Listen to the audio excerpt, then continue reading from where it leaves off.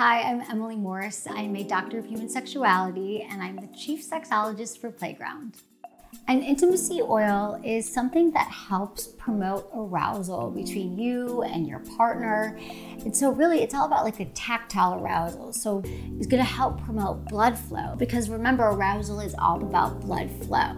So, Mood Maker has mood elevating aphrodisiacs and botanical ingredients like ashwagandha, reishi, electric daisy that help promote arousal. It's just a really silky glide. It's vegan, it's body safe.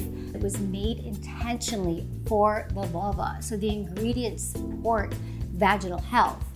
Moodmaker is so easy to use. You just apply a few pumps to your fingertips and then you just rub it on your vulva, on the neck, your inner thighs, your navel. I mean, you can use this anywhere you want to enhance pleasure and feel good, literally all over your body.